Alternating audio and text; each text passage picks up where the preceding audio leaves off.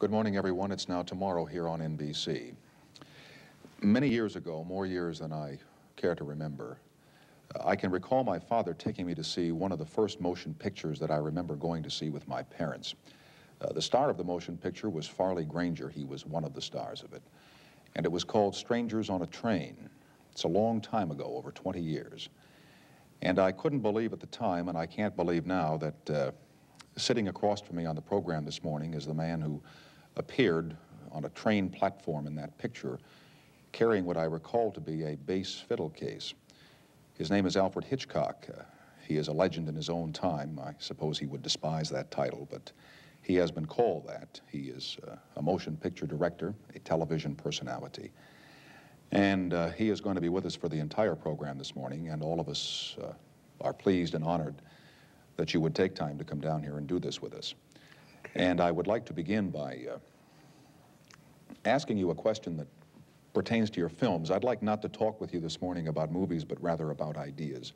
I may not be successful at that, but uh, I'm going to attempt. All the pictures that you do scare people. Mm -hmm. What frightens you? What are you afraid of? Most things. I'm scared of policemen. I never drive a car on the theory that if you don't drive a car, you can't get a ticket. So therefore, that's absolutely true. I'm scared stiff of anything that is to do with the law. Although I'm fascinated by it, but I would hate to be involved myself. And I think I'm more scared of that kind of thing. Why? I'm a coward, I suppose. But what is there about a policeman that frightens Alfred Hitchcock, who has made so many films about what policemen do? Well, that's the thing, you see. Most people think that I am, because of the material in which I indulge, shall we say, mm -hmm. uh, uh, professionally, that I must be a monster. Well, I'm just the opposite to that. I'm a very placid, calm individual. And I am scared of uh, getting into any difficulties. Somebody once said to me, what is your idea of happiness? I said, a clear horizon. Not even that horizon with a tiny cloud no bigger than a man's fist. It has to be absolutely clear. Ingrid Bergman once said of me, she said, the trouble with Hitch is that he won't have a fight. Because I walked out on her when she was bickering about something on the set. And uh, I just walked away, and when her head was turned, she looked back and I wasn't there. May I bring you back to the policeman for just a moment? Yeah. What could a policeman do to you that would frighten you? Well, he could um, charge me with some offense, like parking, and then I would get a ticket, and that would scare me. I, I'm, I'm like the man in that old legend. I think it's called. Uh, it was a man who was supposed to pay $2. It was a, an old music hall sketch. Well, apparently he quarreled with the policeman. It was a, the fine would have been $2. And then in doing so, he hit the policeman. And now he was a, now was assault. And then from that, he was uh, moved to the jail, and there he got into trouble with another prisoner and he uh, attacked him and there was a fight and eventually this prisoner was killed. Now he was arrested for murder, tried, and was on his way to the electric chair. And somebody said, why didn't you pay the two dollars? And a policeman is probably the only man who can come to you in the street and for no reason at all say, won't you come with me? And you really don't have much choice, do you? Well, my uh, stomach would turn over. I, a joke was played upon me, and I'm not kidding, it did scare me. What was the couple, Jinx Falkenburg, and what was the name of her husband? Tex. Tex McCrary. McCrary. That's right. I did an interview with them, oh, many years ago in New York, and I sat in the little studio, and there was an empty chair opposite me, and suddenly a policeman came in and sat in the chair and scared the hell out of me. he said, May I see your license? I said, I don't have one. And he did it as a gag, but it worked. Well, you'd best behave tonight or we're going to call the cops. We will continue with Alfred Hitchcock after this announcement. We continue now with Alfred Hitchcock, the motion picture director. Uh, you and I have very little in common, but we have one thing. We uh, have some Jesuit training in our background. Oh, I didn't know Yes. that uh, you had that stigma. Do you consider that to be a stigma? No, let's call it a stigmata. Why do you say that? You know, I saw a terrible thing once. I'm not kidding. In a French magazine. And it was uh, one of those satirical French magazines. And there was a picture of God sitting on a cloud, a bearded old gentleman. And just slowly coming up through the cl- clouds was the figure of Christ with hands held out and a woe-begone expression with holes in each hand. He's looking up to his father, and God is poking his tongue out at him. He said, There, you see, I told you not to go down there.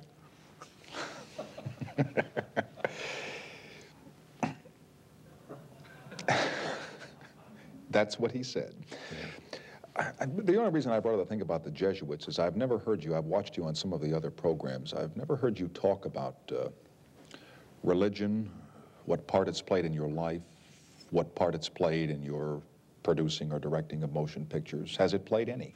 I wouldn't say so, no. Uh, But I would say that the Jesuit training,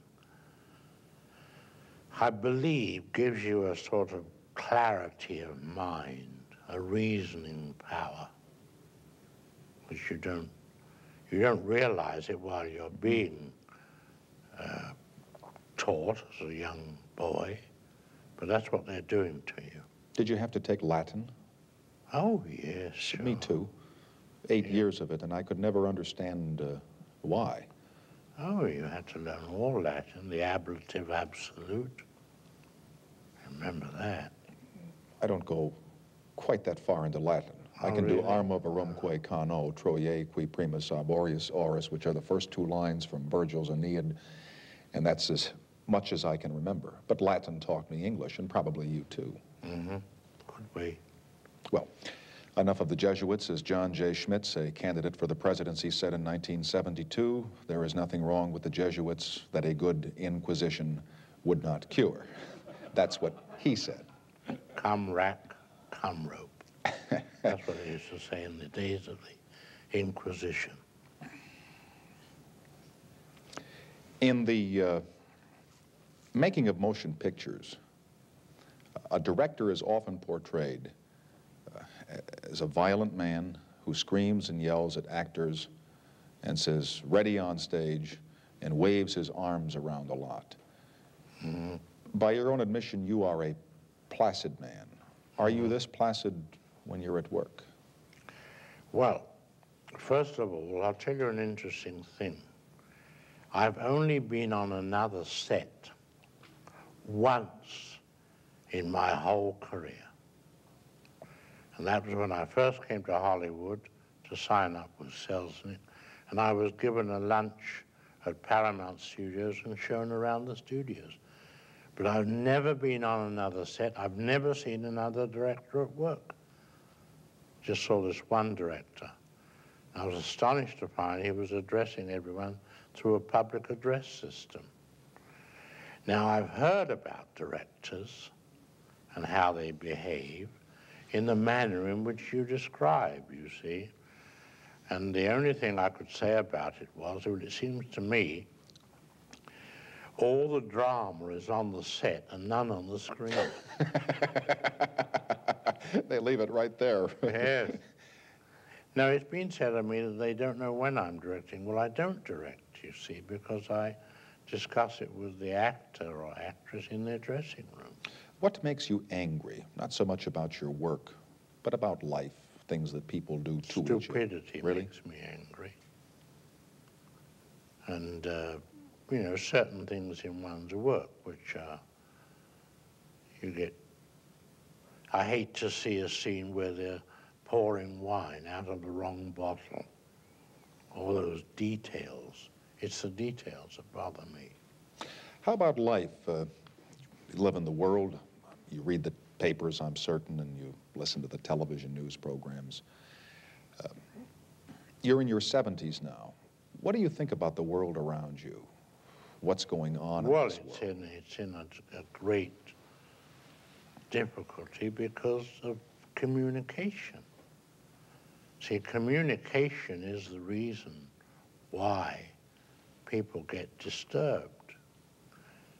Years and years ago, there wasn't any television, there wasn't any radio, and there were just newspapers, and they were very dull-looking newspapers. They weren't. Um, I had a friend, an editor of the London Daily Express, who invented the new front page layouts with headlines all over it, you know, And pictures and things. pictures and, uh, but the main thing was to give a big headline to every piece, you know, and, uh, but in those days, years ago, if you look at a paper, say like the Kansas City Star, it has a little headline at the top and a long column of.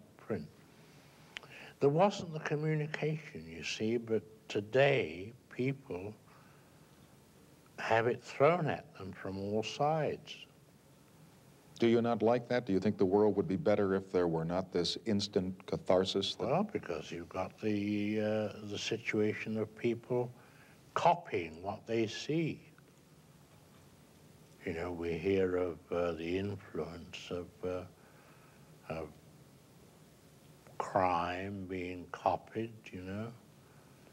Now, I, although I deal in the same thing myself, I don't. I only regret one thing that I ever did in a film that was copied, and that was um, Foreign Correspondent, a picture I made at the Goldwyn Studios here. I don't know if you ever saw it. Did No, you? I did Joel not. McCrea. It was called very elaborate film, very big film, and uh, in it I had a big scene laid in Amsterdam uh, with a politician, an important politician on the top step. And the whole thing was massive umbrellas, trolley cars, the center of the city. And uh, a cameraman came along and said to the politician, your picture, please. You know, uh, bigger cameras in those days. And he had a gun in the right hand. And he took the picture and shot the gun and assassinated this politician.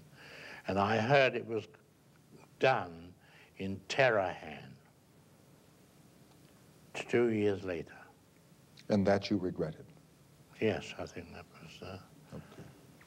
you know, One of those things. one of those things.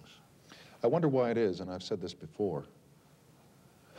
People always copy the bad things that they see in media, whether it's on this tube Well, or on the the same silver. as news.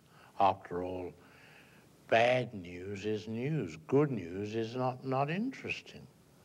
You'll find that in all newspapers. Only bad news. You know, all about bad men. Is interesting, but it also becomes more appealing. I- I have to do this. Yes, I know. Well, appealing because it's like audiences, uh, uh, say, watching one of my pictures and they get scared and so forth. But they feel comfortable because it's there for the grace of God. Go I. But what I meant to say was, when people see something in media that is violent or that is criminal, it has been said that there are certain minds that will go out and copy that. What I have difficulty comprehending is if media shows something good, why don't as many people go out and emulate that? Because uh, that doesn't give them any satisfaction. Uh-huh. As, as I've just said a moment ago, they look at the man in the bad situation and they say, my God, let, thank God that's not me, you know. The image that you have uh, contrived, and I'm certain you've done this carefully over the years, is one of dourness, of seriousness, uh, of conveying an impression of mystery. Does Alfred Hitchcock ever tell jokes, or do you have a little sense of humor where you would? I would say more that way than the. That's the whole thing I was saying to you earlier. That people think that one is a monster, and they relate me to my material that I put on the screen. Well, and you're a rather imposing gentleman. I mean, you. oh, Are, I, don't- I wouldn't look at it that way. I mean, because. well, you look uh, pretty imposing to me. So. Uh, no, I used to, and strangely enough, uh, I don't know whether it's people have become more unsophisticated, but I used to indulge very much in practical jokes of a very high order and used to have great pleasure from them. I remember once at Chasen's, when Dave Chasen at the restaurant, his restaurant had a garden at the back. Uh, I gave a birthday party for my wife. And just to liven it up, I engaged from Central Casting an aristocratic old lady. Had her dressed by the studio, hair beautifully done, and sat at the end of the table, and then disowned her. Guest arrived after. I said, "Who's the old lady?" I said, "I don't know. I'm trying to find out." The only person in the secret was my wife and Dave Chasen. And every person arrived and said, and they looked around and said, out there. I said, yes. Said, who's the old lady? I said, I don't know. I went to find out from Dave Chasen. When he comes, I'll send him over.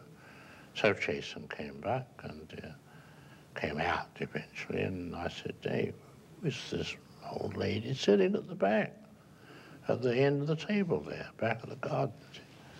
I'll go and see. So he went and he bent over her, said a few words and came back. He said, she says she's with Mr. Hitchcock's party.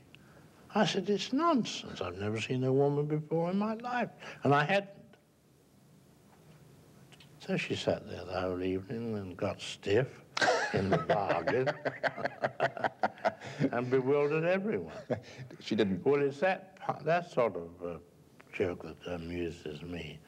I once gave a dinner in London and I had um, two or three important guests. I had Gertie Lawrence, Gertrude Lawrence, uh, Sir Gerald du Maurier, that's the father of Daphne du Maurier, who was the leading actor on the London stage at the time, two or three other people, and uh, all the dinner was blue.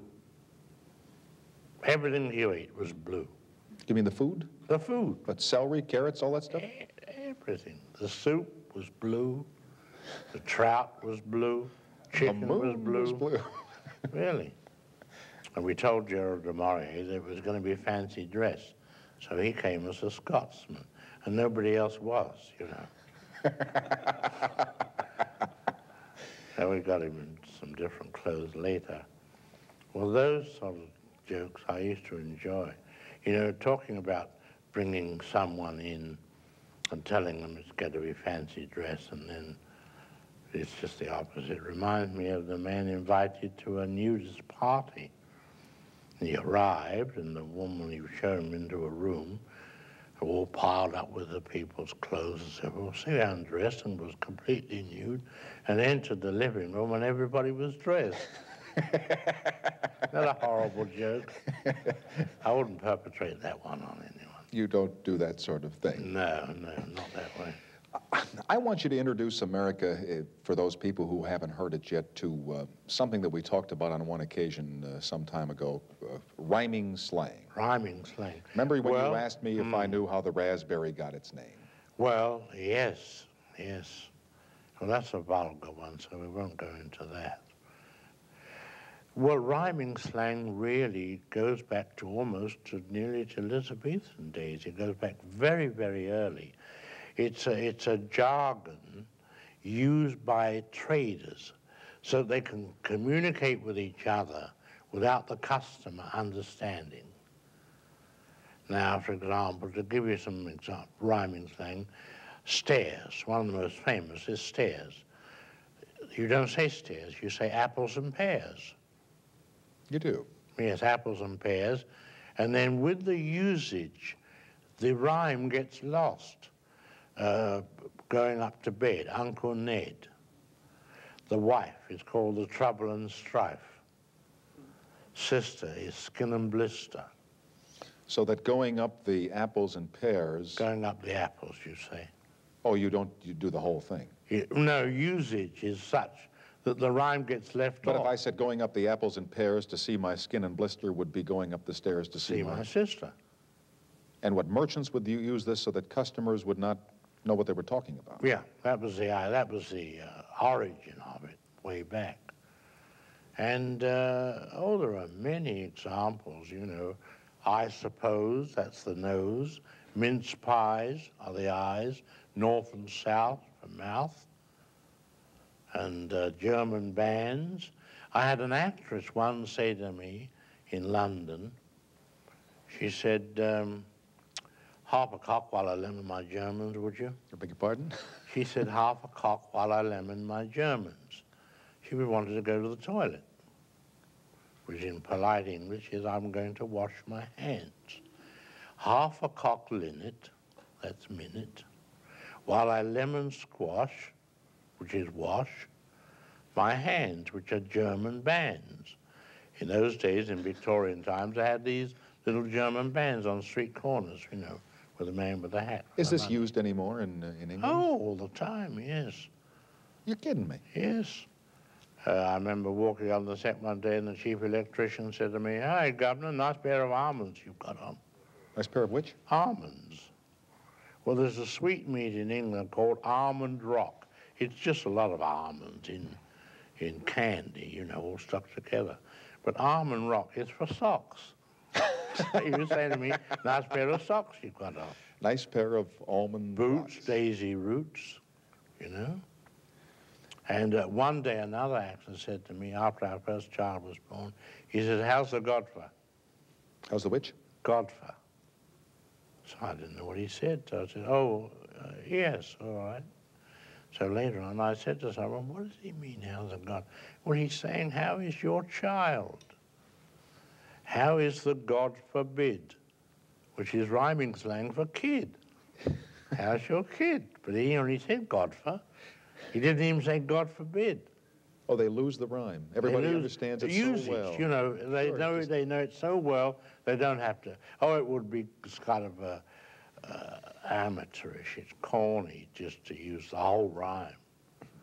Well, then we can let the whole country spend all night wondering uh, how the raspberries really got its name. Now, we, we will not tell, because it would be corny to give the rhyme, wouldn't it?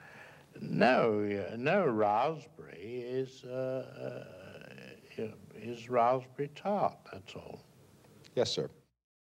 But that said seriously. No humor about it at all. We're still on rhyming slang in the... No, this is not rhyming. but This is uh, the use is the way things with with the meaning get into the language. All right.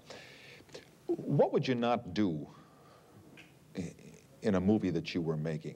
Today they put everything on the screen. Uh, these X-rated pictures, there's nothing left to the imagination insofar as morality is concerned. There are very violent pictures made where horrible things are done to the human body. What wouldn't you do?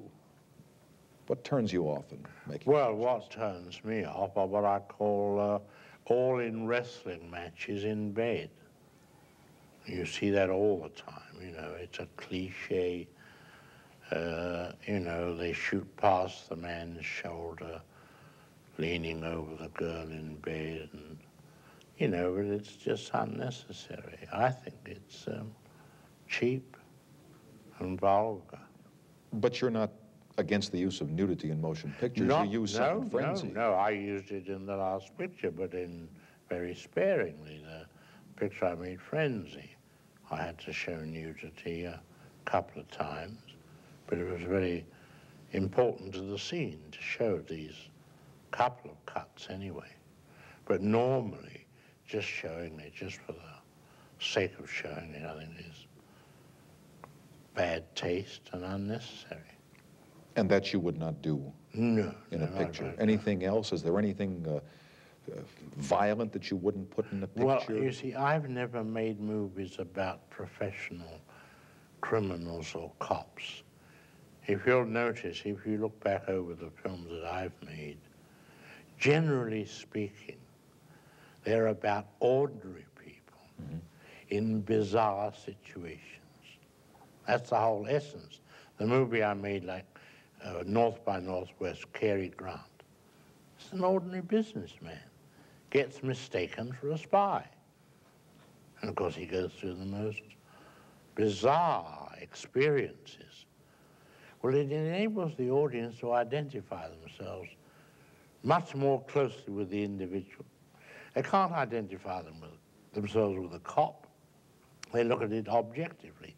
They can't identify themselves necessarily with a criminal unless there's an intense interest such as there was in the mafia, in, the, you know, the uh, Godfather. That's a different thing. That's, you know, a thing they look at objectively. But I've always gone for average man, the ordinary individual, going through extraordinary experience. Is that the, the basic theme that you look for if you're looking Yeah. for a story to film? I whether I want to or not, I seem to gravitate toward that. As a matter of fact, I'm doing a, a, a, a, preparing a script now with uh, Mr. Ernie Lehman, and we're working on a story which shows an innocent couple getting involved in, in very important uh, uh, uh, abductions of people, kidnapping. I know nothing about it. What is the name of that? As I happen don't have a title. But these are ordinary people who get caught up in something. I get caught up in a very serious. When, when, when, when you're doing this, I don't mean to interrupt you, but when you're doing this, like putting together a scene, uh, the one that everybody likes to talk about is uh, the shower scene in Psycho, or uh, that one especially. Can you feel what you think the audience is going to feel when they're watching that, when you're putting it together? Um, I hope so. Except that a scene like that took me seven days to shoot. Because although it was only on the screen for 45 seconds, there were 78 separate pieces of film joined together to get that stabbing and that effect. Uh, one hopes they will. You know, you can't predict.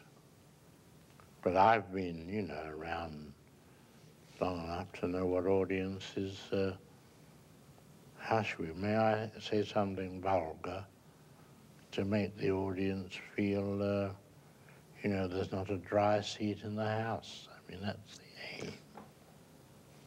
If uh, you don't know how to do that, nobody knows how to do that. huh? Well, it takes a lot of design.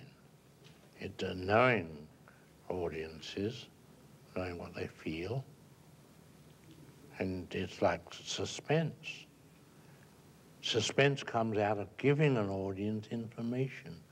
You see so many films, they call them mystery films. I never make mystery films because No, we know. because if the audience don't know, how can they emote? It's like a whodunit. I never make whodunits because you've got to turn the last page before you find out anything. So a whodunit, in, from an audience point of view, is an intellectual exercise, like a crossword puzzle or an anagram. You're wondering which of the five people. So there's no emotion, it's just calculation. But suspense is very different. You tell the audience that there's a bomb under that chair and will go off in five minutes. And make them wait. That's right. We uh, have a little bomb that's going to go off here from uh, The sponsors or the commercial? Yeah. And then Uh, we'll, make it a profitable bomb. no, not at this time of the morning, sir. We'll continue after these public service messages. in the uh, last segment, you said you were in preparation of a picture now, and uh, again, how long will you keep making movies? Uh, there are fellows who retire from your craft at 45 and 50 years old, figuring that they've made all the pictures they want to make or they've said all they want to say. But you're still going. I still will go. I have no reason to stop. Got many more pictures to make. But um, talking of, of stories one should, would like to make, we were talking about that earlier, while the uh, commercial was amusing our audience. Uh, the story I Well, you left them without dry seats, so they had to Yes. do something to take care of that. Uh, one of the stories I wanted to do for our television show was a famous story by Lord Dunsany, an English poet. It's a classic story. A man and his wife moved into a village, I think it was late in England, moved into the village and uh, they rented a house and a garden. And uh, the man asked the landlord if he could cut down 12 larch trees which were surrounding the house. And uh, he got permission to do that. Well, they lived there for, oh, I think about a year or two, or maybe not quite as long as that. And the wife was missing. And uh, people asked him where was his wife, and he said, well, she's gone away or something, pretext. But gossip, as it does in all villages, increased to a point where he wasn't uh, really believed. He wasn't given satisfactory answers as to whereabouts of his wife. So the police moved in, and they began to uh, ask him questions. Well, eventually, it got the search for the wife got so intense that the police practically accused him of murdering her. But they had no evidence, no body. They were digging up his garden in search of this woman, and finally gave it all up. And the case was closed. But it so happened a university professor took an interest in the case and he visited this village and made some inquiries around. And finally, in the local inn, he found a, a traveling salesman who traveled selling like ketchup, relish, that you, that you have with meat, you know, like A1, mm-hmm. whatever the names of these things are.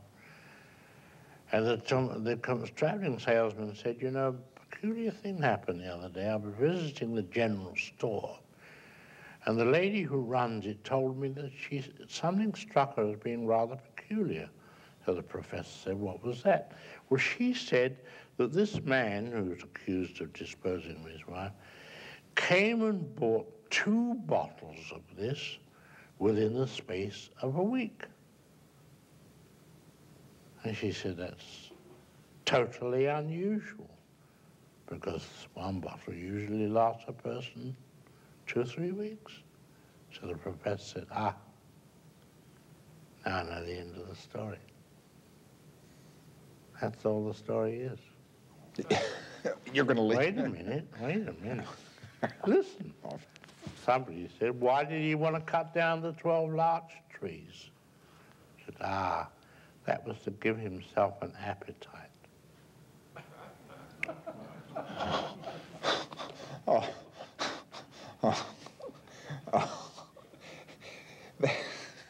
What a horrible story. I told you it was a horror. Boy, you did one on television. I remember watching where they came to the club to have dinner, and it was lamb Amirstan. Yes, that's right, yes, yes. And Robert Morley. exactly, and the lady. You tell that story in case somebody has not seen that. That's a Well, it was a famous club, and uh, the whole idea of the story was that it was a sort of a suicide club. When are we going to have lamb Amirstan? And it turned out to be human flesh, you know. So, let me tell you one more interesting story. I think we have time. I'll tell it quickly. A man was riding across the Australian desert in his car, South Australia, loaded up, and the back axle goes. He sees in the distance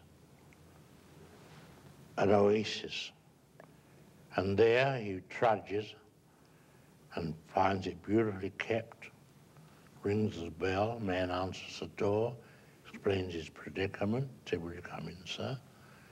And the man, the, the owner of the house comes in, and uh, he explained his problem. He said, well, uh, the owner of the house, a very dapper, well-dressed man, sort of like Clifton Webb used to be years ago. And uh, he said, well, the only thing is the nearest place is 100 miles back from where you've come.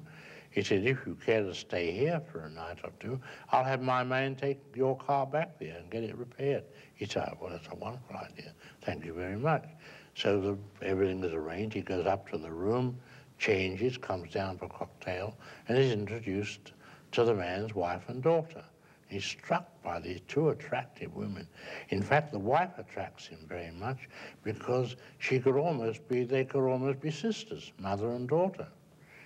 And after dinner, and everything very polite, goes to bed, and at midnight, there's a tap on the door. He switches the bedside lamp, and the door op half opens, and the voice of a woman says, please, no lights, no lights. He says, all right, turns the light off, door clicks, and she comes over to the bed. He said, you know, we live a very lonely life here, as you can see.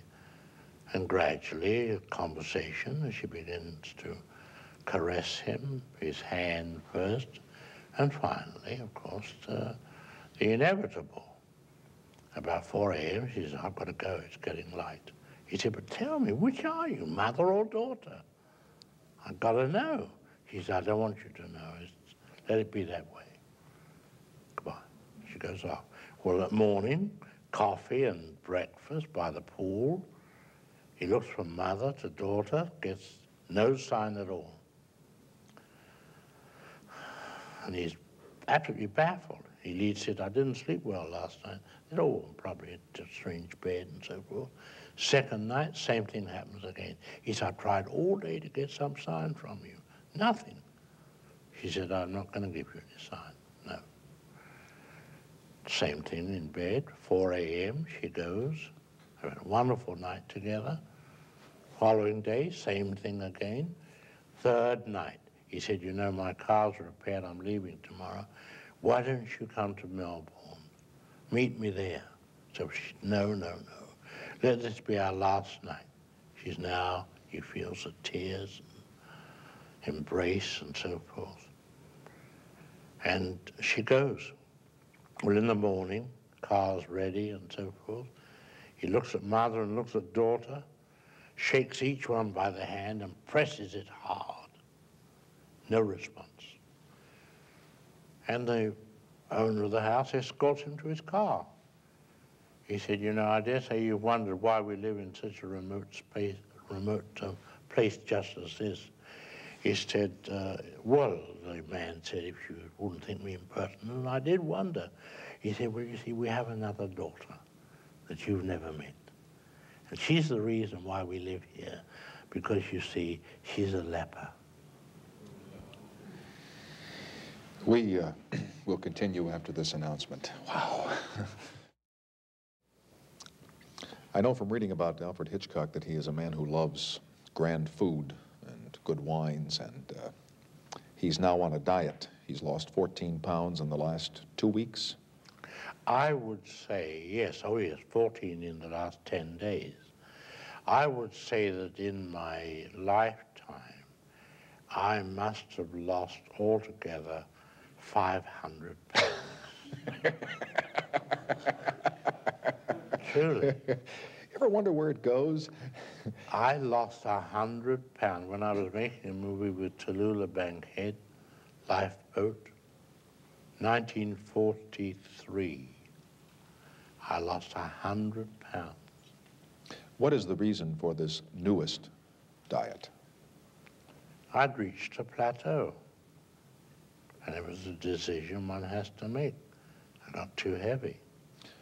I was having great difficulty in getting up and down the apples. yes. and pears. How do you uh, lose 14 pounds in 10 days? There have been all kinds of diets. You have no, um, you keep to 750 calories a day. No bread, no butter, nothing in the way of desserts, just meat, string beans. That's it. Yeah. Do you drink a lot of water like some people do? No, no, I don't believe in water because that's the very thing they're trying to get rid of. exactly, but they Oh, say if you drink okay. eight or 10 glasses of it a day, it No, will. no, get rid. I don't believe in that. I think in the dieting you should keep yourself dry. It's a terrible time to go on a diet with the holiday season coming on, all those Christmas goodies. Uh, No, that's, it's, it's, you have to turn your, not your back on it, you have to turn your front on it. Yes. Did you ever think many, many years ago, uh, when you were first starting to do this, uh, that it would come to this where they would be writing books about you and uh, doing retrospectives on television of your films, that you would be worshipped by young filmmakers as a master of your craft? Could you foresee all this back in 1915 or 1920? No, not at all. I think the most gratifying thing that I enjoy about one's job is being able to appeal to world audiences, the Japanese. See, I can walk down the Ginza in Tokyo and be recognized. They know you, yes. They in Japan, they know me. And uh, that's, that's the most gratifying thing. And it comes through one's work, not through one's publicity agent or what have you. Same in Germany. I never forget we crossed the frontier once at um, Metz, entering France. And the gendarme put his head in the window and said, Ah, Hitchcock. and then we had to wait, and he brought, went inside and brought out all the other officers and gave them all autographs. Now, listen, I'm not an actor or anything of that. This is very All directors are actors. What? All directors are performers, I'm not. actors. Oh, you I appear in your never movies. sink so low as to be an actor. Do you mean that when you were uh, on the television series that's uh, still running, that when you came on and said That's not an good actor. evening, that that was not? No, that's- Carefully put I- together. No, that's uh, just uh, dignified introductions. You know, uh, to be an oh, to be an actor, it's you know I've called them cattle for years. And they still Thirty keep, years, I call all actors cattle. and they still keep coming back to the barn, don't they? I remember Tyrone Power's wife, when he was alive, she said to me, "Why do you call my husband cattle?" I said, "Well, he's nice cattle." We'll do a nice little interruption here, and then we'll continue and say goodnight to our special guest this time, Alfred Hitchcock. This whole hour has gone by faster than any of us had hoped, and uh, all of us on the program are indebted to Alfred Hitchcock for coming here uh, this time and sharing with us some stories not only about films, but about how he feels and what he is afraid of. I, I trust you have some word of reassurance. Uh, just that, uh, um, that leprosy, I want to assure you, is not contagious. Although I think leprosy would be a nice name for a girl. Have a great day from all of us on the late shift in California.